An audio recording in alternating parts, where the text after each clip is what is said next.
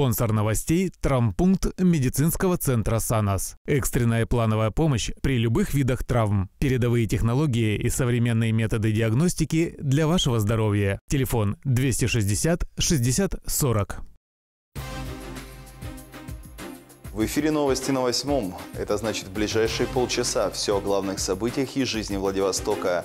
В студии Максим Дудников. И вот что произошло в нашем городе к этому часу. Поддержку талантов. Миллион рублей на развитие получил Владивостокский городской дворец детского творчества на условиях конкурса. Для школьников города Владивостока все программы бесплатные. Атака паразитов. Жителям дома по улице Шепеткова не дают покоя блохи. Мы просто не знаем, как дальше жить. Вот честное слово. Вот честное слово.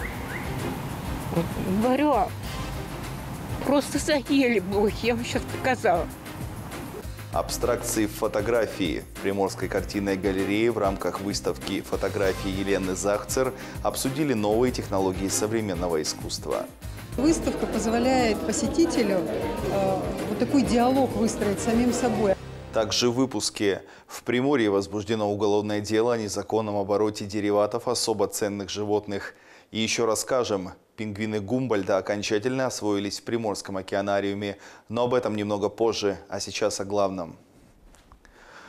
Планируемый уход аэрофлота с Дальнего Востока будет обсуждаться в Приморье. Эта тема будет поднята на совещании с помощником президента России Игорем Левитиным накануне ВЭФ.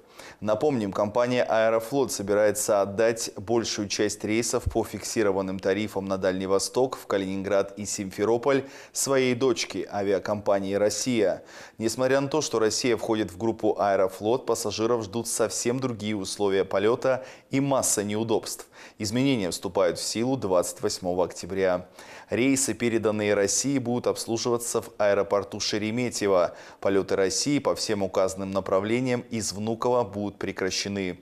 Рейсы аэрофлота пока сохранятся из Москвы в Владивосток и обратно, предположительно, до весны. Напомним, сегодня по маршруту Владивосток-Москва компания «Аэрофлот» выполняет два рейса ежедневно. Еще один рейс в день делает авиакомпания «Россия». При этом сами пассажиры считают, что летать аэрофлотом комфортнее. Самолеты прибывают в Шереметьево, а не во Внуково, куда летает Россия, а также отличается качество сервиса. Впрочем, рокировка принесет пассажирам немало других неудобств. В первую очередь это связано с повышением цены. Если сейчас билеты по плоским тарифам на Дальний Восток у Аэрофлота можно купить за 13 200 рублей в одну сторону и за 22 тысячи туда-обратно, то после вступления вступления изменений в силу билеты подорожают до 15 тысяч и 25 соответственно. Кроме того, у дальневосточников практически не будет альтернативы. Добраться в большую часть регионов на Дальнем Востоке можно будет только с пересадкой. Тем временем поступают новости от соседей по Азиатско-Тихоокеанскому региону. Полное разминирование демилитаризированной зоны, разделяющей КНДР и Республику Корея, займет около 200 лет. Об этом заявил представитель сухопутных войск Южной Кореи, передает ТАСС.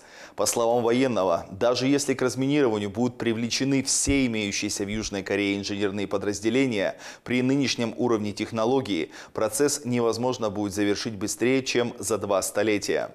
По различным оценкам, с 1953 года по настоящий момент там было заложено более двух миллионов противопехотных и противотанковых мин. Проблема усугубляется тем, что многие карты минных полей были утеряны. Кроме того, наводнения и сильные дожди ежегодно приводят к перемещению мин, поэтому точное расположение большинства из них неизвестно. Поэтому в случае ликвидации демилитаризированной зоны саперам придется обследовать буквально каждый сантиметр этой территории. Напомним, демилитаризированная зона представляет собой нейтральную полосу между двумя Кореями длиной 241 километр и шириной 4 километра.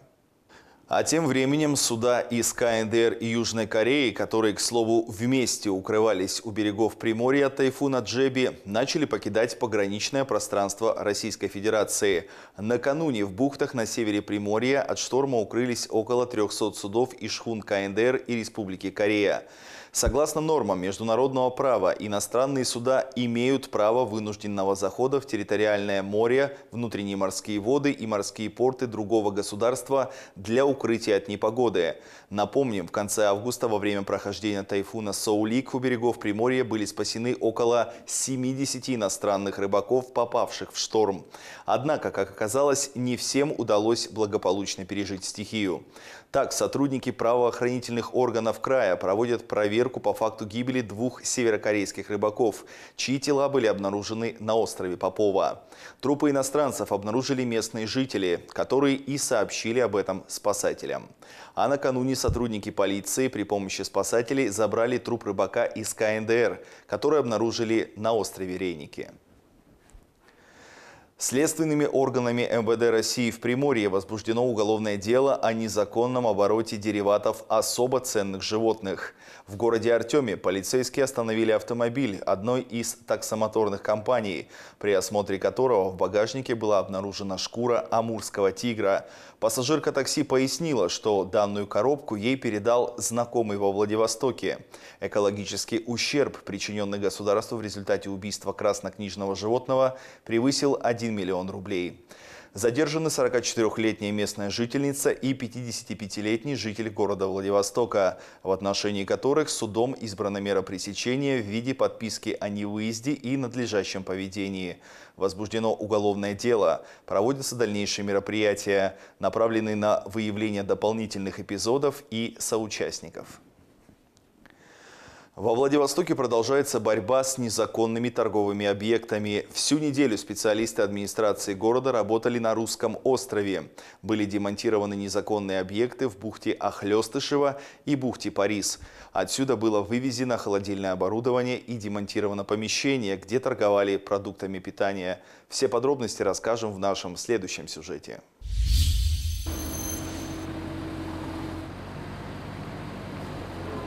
Киоски, гаражи и контейнеры отправляются на склад. А все потому, что их пребывание на побережье в бухте Парис было незаконным. Подобной участи ждут еще 58 торговых точек, летних домиков и беседок. Сегодня происходит демонтаж незаконно установленных объектов.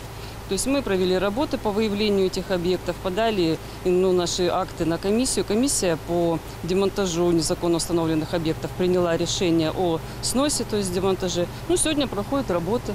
До настоящего времени добровольного объекта были не убраны, поэтому силами СГТ, полиции, четвертый отдел здесь у нас, ну и это самое, мы присутствуем при этой процедуре. Я не нарушал вообще. Я его купил на месте, я вообще не нарушал. Объекты будут ждать своих владельцев на площадке временного хранения. Однако, прежде чем вернуть добро, собственникам придется заплатить штраф в размере затраченных администрацией на демонтаж сооружений и средств. Кстати, в этом году тариф за демонтаж торгового оборудования увеличился в 48 раз и составляет 9159 рублей вместо 187 рублей. Сегодня большую часть доходов городского бюджета составляют платежи по налогу на доходы физических лиц. Поддерживая развитие деловой активности, понимая, что это основа экономики Владивостока. Но нам нужны предприниматели, которые делают город лучше, жизнь владивостокцев комфортнее и обязательно платят налоги в городской бюджет. Без разрешительной документации объект нельзя на законных основаниях подключить к городской инфраструктуре, электрическим сетям, водопроводу, канализации. Так что предприниматели делают это самовольно. Причем нередко воруют электричество у соседей. К тому же в подобных ларьках нет гарантии качества товара, особенно продовольственного. Отметим, что вопрос ликвидации самовольно установленных объектов находится на особом контроле администрации Владивостока. Катерина Матвеева, новости на восьмом. К другим темам. Миллион рублей на развитие получил Владивостокский городской дворец детского творчества. Деньги учреждению дополнительного образования выделены на условиях конкурса. Дворец детского творчества предложил проект под названием «Зажги свою звезду» и создание театрально-концертного комплекса. Чем юные жители Владивостока могут занять себя в новом учебном году, узнавала моя коллега Светлана Садовая.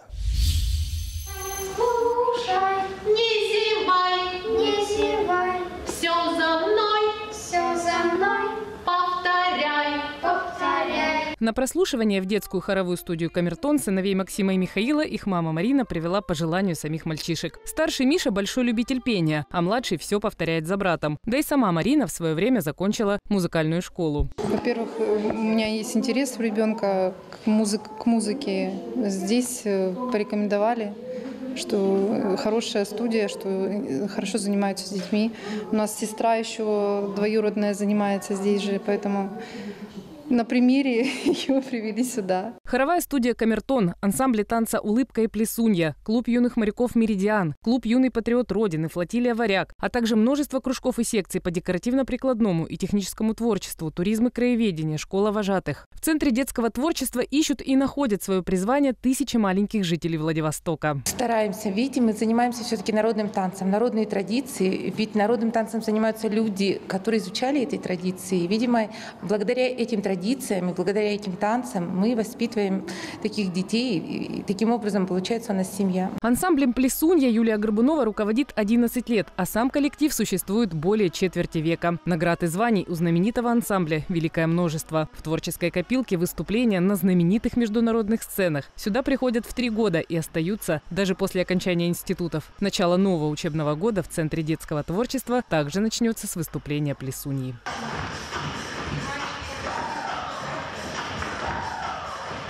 В этом году Центр детского творчества получил миллион рублей на развитие. Деньги учреждению выделили на условиях конкурса. Деньги выделяются из бюджета города по распоряжению главы Виталия Веркиенко. Среди критериев конкурсного отбора – создание условий для сохранения здоровья детей, обеспечение качественного образования, эффективное использование современных образовательных технологий, создание условий для оказания бесплатных дополнительных услуг детям. Дворец детского творчества предложил проект под названием «Зажги свою звезду» и создание театрально-концертного комплекса. Для школьников города Владивостока все программы бесплатные. То есть дети с 1 по 11 класс посещают все наши кружки и секции бесплатно.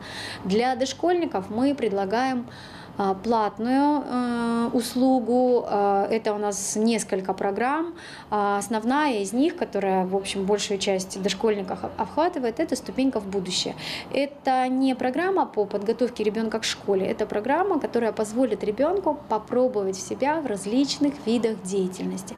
Новый учебный год в Центре детского творчества официально начинается с 15 сентября. Детям нужно дать время акклиматизироваться после летних каникул, считают педагоги. Записаться на любые занятия сегодня можно в Центральном корпусе. Руководители кружков ждут всех желающих. Светлана Садовая, Игорь Болтов. Новости на восьмом. Прямо сейчас уйдем на короткую рекламу, после которой Жителей дома номер 18 по улице Шепеткова атаковали блохи. Восьмой канал приглашает стать автором новой передачи «Смотри». Пингвины Гумбольда окончательно освоились в Приморском океанариуме.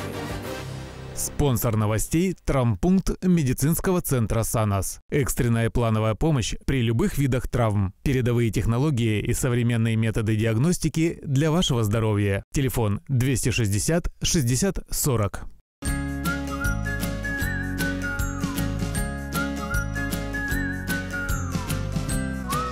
Травмы и ушибы всегда возникают внезапно. Они резко меняют наши планы. Травмпункт медицинского центра «Санос» – это то, что вы искали. Оказание экстренной помощи без очередей и записи при любых видах травм. Современный цифровой рентген поможет выявить даже сложно диагностируемые повреждения. Травмпункт медицинского центра «Санос». Мы заботимся о вашем здоровье.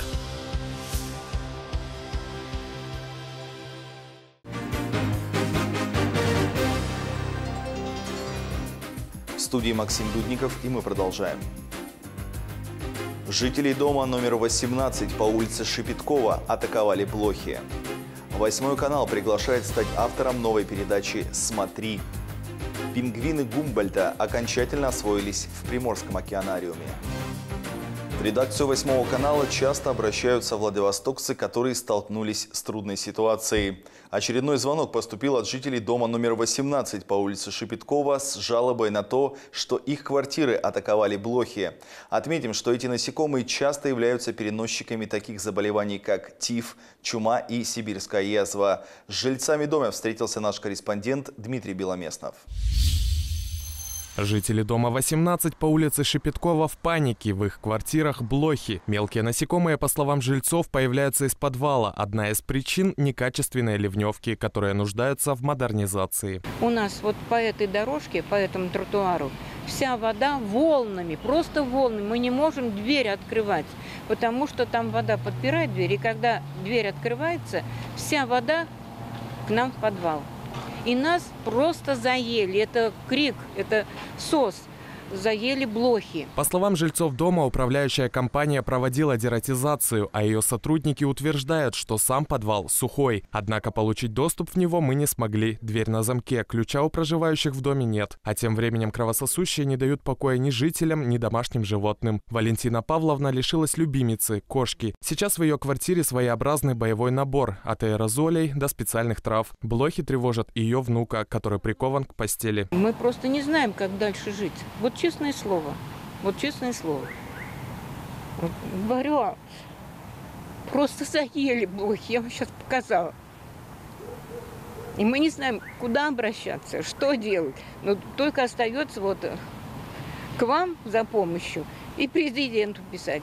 Больше некому. Ситуация у Тамары Александровны ничем не легче. Под ее окном прямо в подвал сделали отверстие в стене, по словам управляющей компании, для дополнительного прохождения воздуха. К слову, сам дом нуждается в ремонте. Из-за дождей и сырости кирпичи разваливаются буквально на глазах. Под самым окном у меня. Я зимой замерзаю на первом этаже. А у меня там вообще что делается? Я заложила с одной рукой, заложила сама. Я им звонила в домоуправление.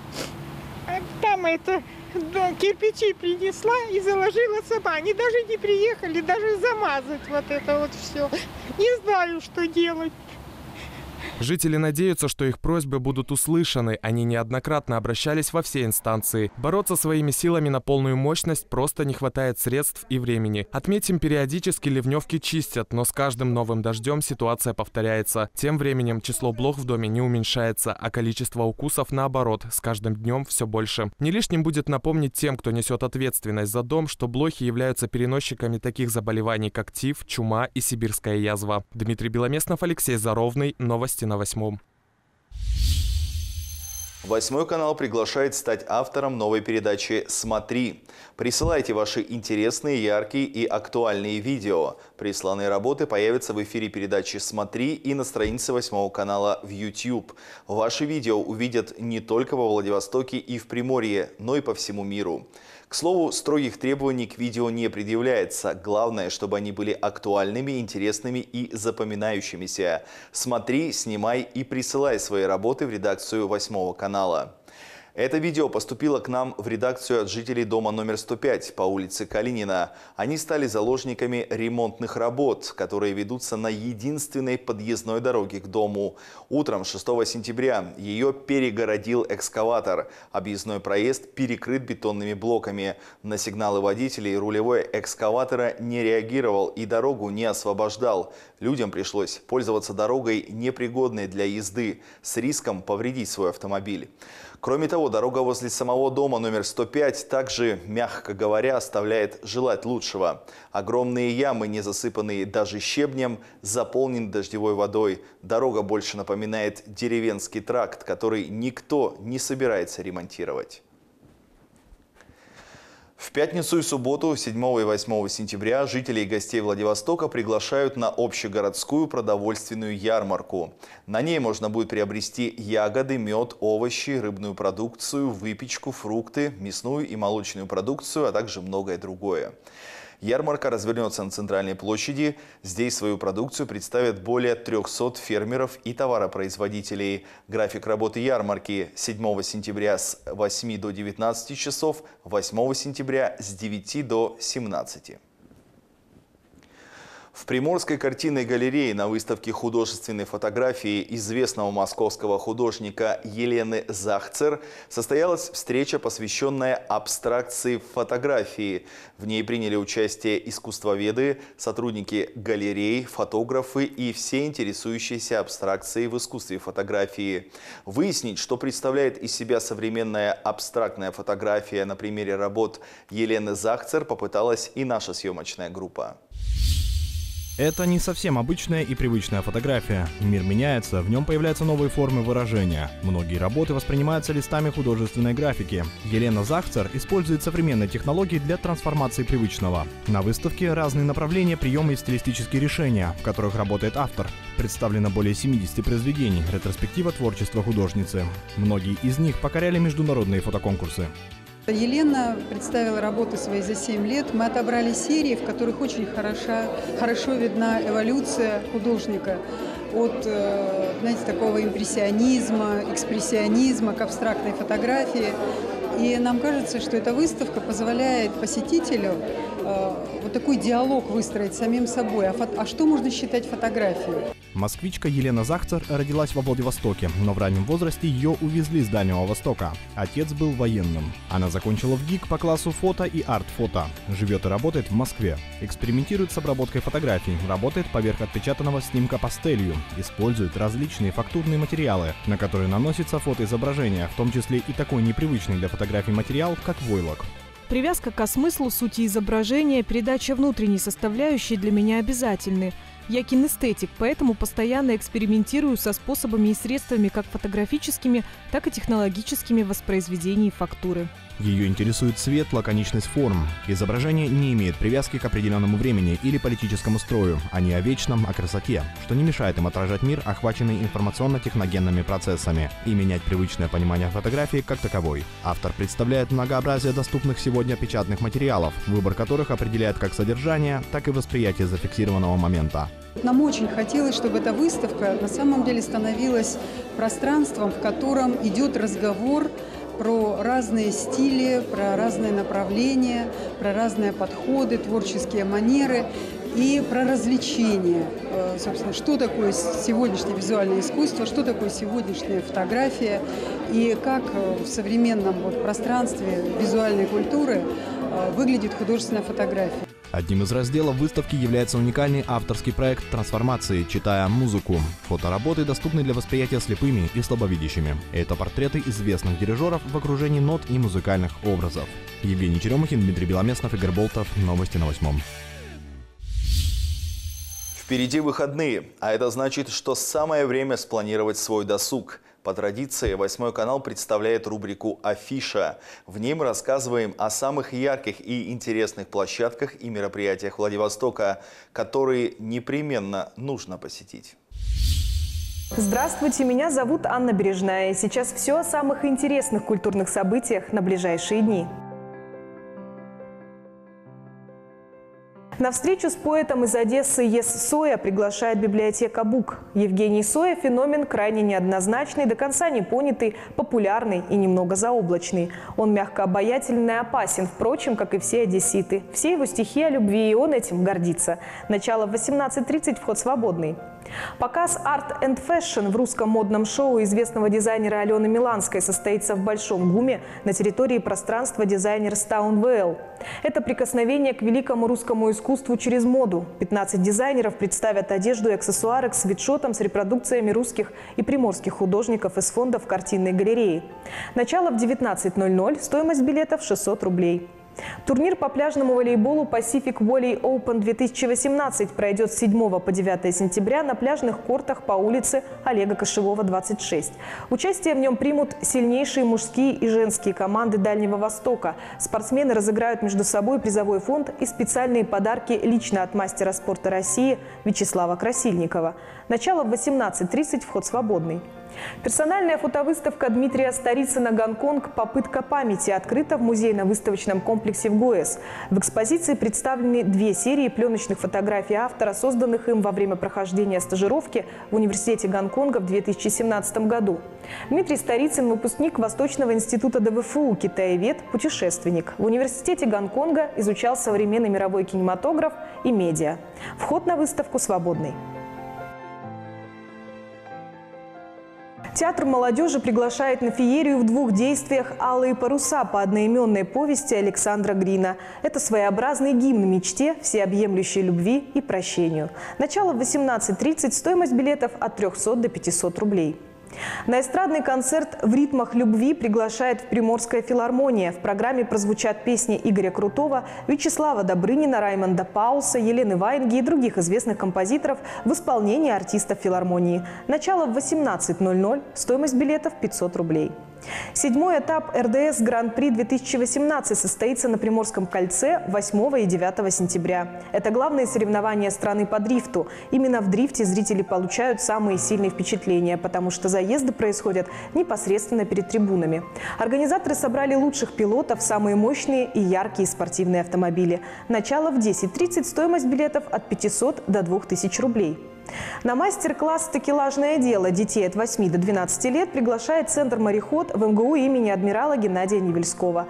Программа познакомит с первыми навыками морского дела. Ребят научат вязать морские узлы и собирать автомат Калашникова. Начало в 10.00, стоимость участия 250 рублей. Открытая тренировка по бегу состоится в спорткомплексе «Молодежный». Начало в 10.00, вход свободный. Всероссийский фестиваль красок состоится в парке Минного городка. На сцене главного красочного события года выступят лучшие кавер-группы Владивостока, а популярные диджеи подготовят музыкальные сеты из хитов последних лет. Будут открыты отдельные зоны развлечений на любой вкус, где можно будет не только потанцевать под любимые песни, но и поучаствовать в розыгрыше призов или вкусно поесть.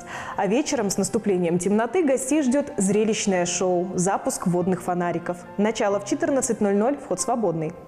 На моноспектакль «Такджик» в первую гимназию приглашает театр Андрея Нартова. Зрителей ждет откровенный разговор о судьбе и жизни главного героя постановки. Начало 18.30, стоимость билетов 400 рублей. Группа «Иванушки Интернешнл» выступит на сцене Сан Ремо Холл. Артисты исполнят не только новые песни, но и любимые хиты поклонников. Начало в 19.00, стоимость билетов от полутора до трех с половиной тысяч рублей. Иллюзион парк приглашает гостей на празднование второго дня рождения. Вас ждет насыщенная развлекательная программа, конкурсы, призы и подарки. Начало в 13.00, вход свободный. Пока на этом все. Хороших выходных и до встречи на культурных площадках Владивостока. Кстати, еще одна площадка для приятного и одновременно полезного досуга – это Приморский океанариум. Здесь окончательно освоились пингвины Гумбольта. Они уже демонстрируют яркое взрослое оперение, а также отменное здоровье. А наблюдение за ними – большая радость для посетителей. Три самца и три самочки еще в феврале этого года пополнили экспозицию «Полярный мир». Птицы прибыли из чешского питомника, поставляющего животных в крупнейшие зоопарки и океанариумы мира. Пингвины Гумбольда – особо охраняемый вид. Их перемещение тщательно отслеживается, даже если птицы, как в этом случае, были выведены в неволе. Перед тем, как привести птенцов в Приморье, орнитологи Приморского океанариума выезжали в Чехию для общения с будущими подопечными, чтобы пингвины к ним привыкли, и стресс от переезда был минимальным. После приезда из Чехии пингвины заметно прибавили в весе и уже успели полинять, сменив детское оперение на яркое взрослое. Основную часть времени птицы проводят в воде, спят тоже в бассейне. Температура воды выдерживается в пределах 9-11 градусов тепла, воздуха плюс 13, плюс 16. Это самый распространенный вид для всех океанариумов, потому что они не нуждаются в низких ультрахолодных температурах, например, как другие пингвины. Они живут на э, побережье Южной Америки при средней годовой температуре 14, 13, 12 градусов э, вблизи с холодного течения мы придерживаем примерно такие же условия. То есть вода около 10-11 градусов, температура воздуха 14 градусов, их легко содержать. И этих пингвинов осталось примерно 12 тысяч пар, они краснокнижные. Также отметим, что пингвинов ничуть не смущает присутствие людей за стеклом. Напротив, они с удовольствием общаются с гостями океанариума, что доставляет особенную радость маленьким посетителям. Далее о спорте. Заплыв «Дружба» во Владивостоке перенесут на конец сентября. Первоначальные планы изменились из-за особого режима безопасности во время ВЭФ. Стартовала первая гонка СКФ Дальневосточной регаты учебных парусников 2018 из ЙОСУ во Владивосток. Ну а все подробности расскажет Дмитрий Беломеснов. Заплыв «Дружба», проводимый во Владивостоке Федерации подводного спорта Приморского края, в этом году перенесут на 29 сентября. Ранее организаторы планировали массовое спортивное мероприятие на ближайшую субботу, 8 числа. Но в эти дни в районе нескольких бухт Русского острова будет закрыто судоходство в связи с приближающимся Восточным экономическим форумом. И ГИМС не сможет предоставить пловцам необходимое сопровождение. По словам организаторов, участвовать в заплыве вокруг мыса Басаргина уже готовы около 50 человек, но заявки от желающих продолжают принимать до 25 сентября. Заплыв будет проходить от пляжа бухты Соболь до пляжа бухты Патрокол. Предусмотрены три дистанции – 2, 3 и 5 километров. Каждый участник вправе выбрать себе дистанцию по силам. Дан старт первой гонки в рамках дальневосточной регаты учебных парусников 2018. Участникам предстоит преодолеть около 600 морских миль из корейского Йосу до Владивостока. По пути парусники соревнуются каждый в своем классе. Также будет определен и победитель в абсолютном зачете. Причем первое место далеко не всегда занимает самое быстрое судно. При распределении мест оценивается не только мореходные качества судов, но и грамотность работы экипажей. Ожидается, что суда прибудут во Владивосток не позднее 9 сентября. В российском порту участников ждет ждет вторая зачетная гонка, а также обширная культурная программа и спортивные мероприятия. Дальневосточная регата учебных парусников 2018 – первое в истории Дальнего Востока России соревнование больших учебных парусников международного уровня. Прибытие судов во Владивосток приурочено к четвертому Восточному экономическому форуму. Соревнования продлятся до 14 сентября. В нем участвуют парусные суда из России, Японии, КНР, Республики Корея и других стран. Дмитрий Беломеснов, Новости спорта на восьмом. И напоследок еще раз коротко об основных событиях во Владивостоке. Планируемый уход аэрофлота с Дальнего Востока будет обсуждаться в Приморье. Напомним, компания собирается отдать большую часть рейсов по фиксированным тарифам на Дальний Восток в Калининград и Симферополь своей дочке авиакомпании «Россия». Около трех сотен судов из шхун КНДР и Республики Корея, которые вместе укрывались у берегов Приморья от тайфуна Джеби, начали покидать пограничное пространство Российской Федерации. Напомним, в конце августа во время прохождения тайфуна Саулик у берегов Приморья были спасены около 70 иностранных рыбаков, попавших в шторм. В городе Артеме полицейские остановили автомобиль, при осмотре которого в багажнике была обнаружена шкура амурского тигра. Экологический ущерб, причиненный государству в результате убийства краснокнижного животного, превысил 1 миллион рублей. Возбуждено уголовное дело. В приморской столице продолжается борьба с незаконными торговыми объектами. Всю неделю специалисты администрации города работали на Русском острове. Были демонтированы незаконные объекты в бухте Ахлёстышева и бухте Парис. Жители дома номер 18 по улице Шепеткова атаковали блохи. Отметим, что эти насекомые часто являются переносчиками таких заболеваний, как тиф, чума и сибирская язва. Приморской картинной галерее на выставке художественной фотографии известного московского художника Елены Захцер состоялась встреча, посвященная абстракции фотографии. В ней приняли участие искусствоведы, сотрудники галереи, фотографы и все интересующиеся абстракцией в искусстве фотографии. А на сегодня это все. Есть что добавить, заходите на страницы 8 канала во всех социальных сетях или на наш официальный сайт. Там найдете все видеоматериалы, а также другую полезную информацию. Но если вы вдруг пропустили что-то значимое, то смело подписывайтесь на 8 канал Владивосток в YouTube. Самые интересные события оставляйте на официальном сайте канала или присылайте на WhatsApp. Его номер вы увидите в конце выпуска. Телефон нашей редакции 249 88 12. Звоните и уже завтра вы можете стать авторами новостей. Хотите о чем-то рассказать городу? Мы поможем. Восьмой канал. Главное – Владивосток. В приморской столице ожидают прибытия высоких гостей. Восточный экономический форум пройдет во Владивостоке с 11 по 13 сентября. На форум приедут представители из 59 государств. На ждут глав КНР и Монголии, премьеров Японии и Южной Кореи. А планы по развитию Дальнего Востока озвучит на форуме президент России Владимир Путин. Тем временем в Москве презентовали автомобили, предназначенные для первых лиц государства – седан и лимузин российского бренда «Аурус».